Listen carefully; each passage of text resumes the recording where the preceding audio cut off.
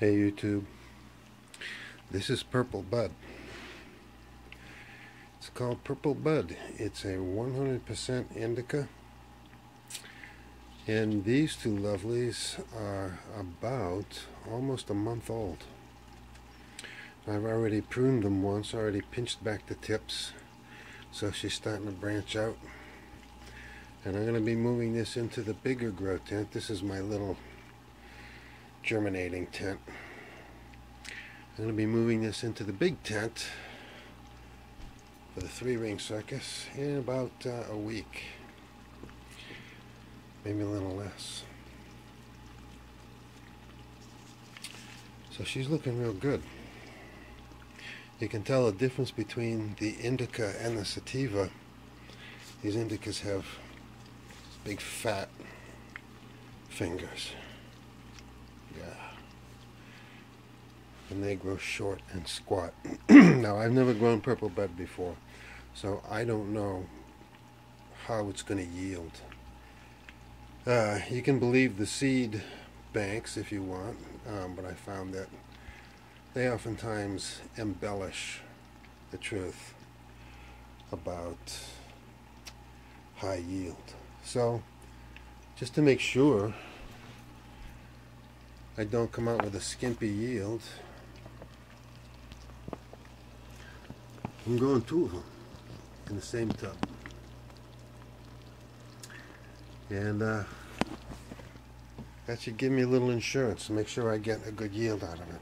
So, so that's it for now. Purple bud, we'll be keeping an eye on this. The flowers are actually purple. So that'll be fun. And uh, I'll keep you updated. In this empty space here, is a um, a plant I have growing in soil. It's called Critical.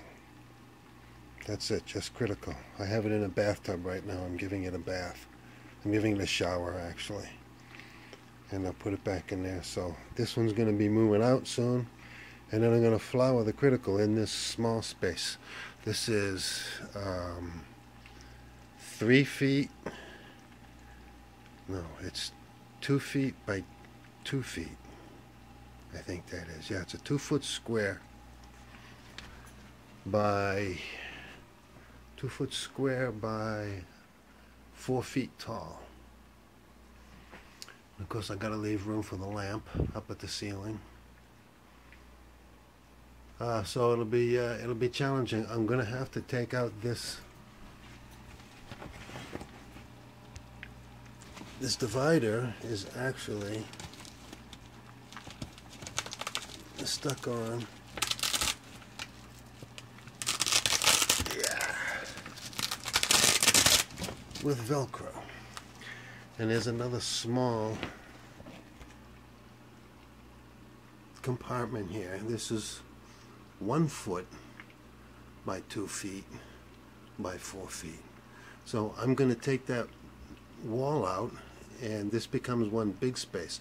I did have a shelf that was in here and this is where I would germinate the seeds and uh, and then move them into this bigger space for early vegetative growth.